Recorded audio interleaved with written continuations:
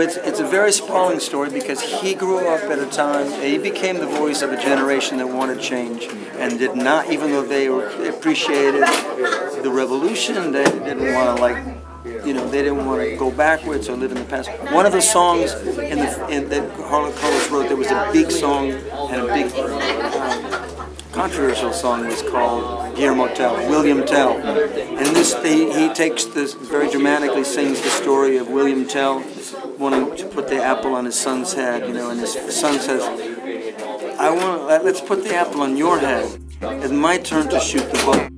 And this was unmistakable to the entire generation that he grew up with about like it's really time for us to take you know to take our country where we wanted to take it. We're the generation that has to do this, you know. And, and this was, believe it or not, it was really controversial.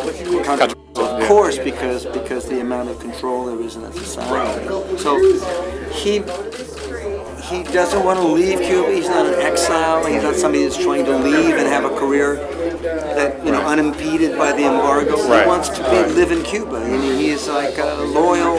He's a patriot. He's, he's a loyal person. He's considered. Uh, you know, there they take the word uh, dissident very seriously. He's not a dissident because because a dissident is somebody who acts actively foments, you know, uh, regime change or like or like undermining right. country's government. Right.